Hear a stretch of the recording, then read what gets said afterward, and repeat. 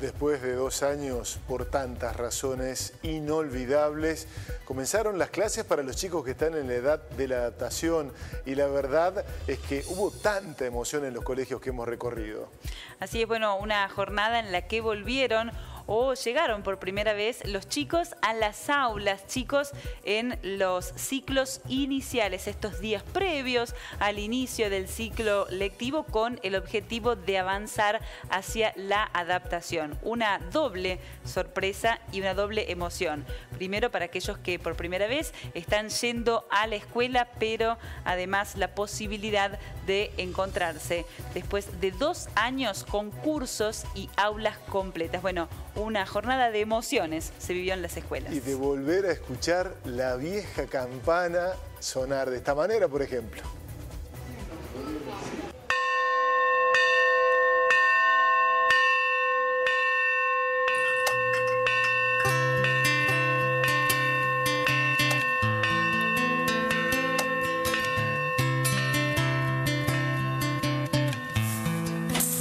Con mucha alegría hemos recibido a este grupo, eh, numeroso grupo de primer grado A, turno mañana. Eh, han venido acompañados por un familiar, así que pudimos recibirlos, nos ubicamos con distanciamiento, con, con ventilación en la galería, los recibimos contándoles un cuento. Creo que la escuela tiene esa magia. Eh, así que ya están, ya están en su aula eh, con su maestra, cada profesor, cada maestra de la escuela también va a pasar a saludarlos, porque este periodo de ambientación eh, sirve para eso.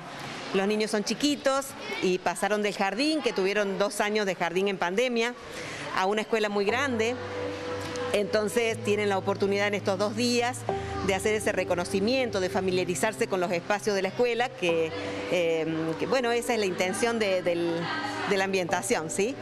Mucha emoción en general, no solamente en los chicos por el primer día, en los docentes también, en todos. Por supuesto, vinieron las maestras del jardín para, para hacer este, eh, este saltito del jardín a la escuela primaria, así que también estuvieron las, eh, sus maestras de jardín despidiéndolos y recibiéndolos nosotros con mucha emoción y mucha alegría, sí, sí.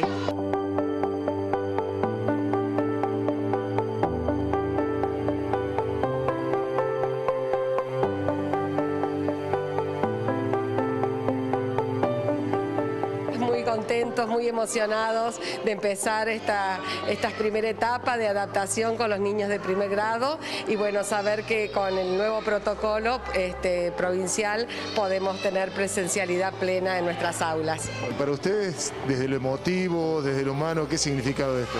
Y realmente estamos muy contentos, ¿no? Volver a esto, porque bueno, fueron años muy difíciles el 2020 y parte del 2021 también. Fue todo un desafío y realmente este, nos costó mucho.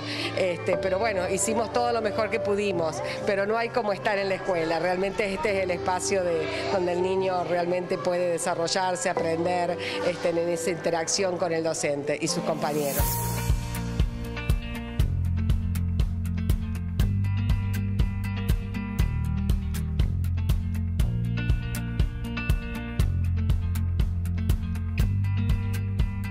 Y necesitamos del acompañamiento de las familias y bueno, por supuesto trabajo a la diversidad, acompañando desde donde cada uno niño, de, cada uno de los lugares que de los niños, este, eh, respetando su- sus tiempos, ¿no? Así este, todos pueden lograr los aprendizajes este, eh, en esa diversidad que tenemos hoy en las aulas que se agudizó justamente con la pandemia. Son, son desafíos, ¿no? Cada año es un desafío.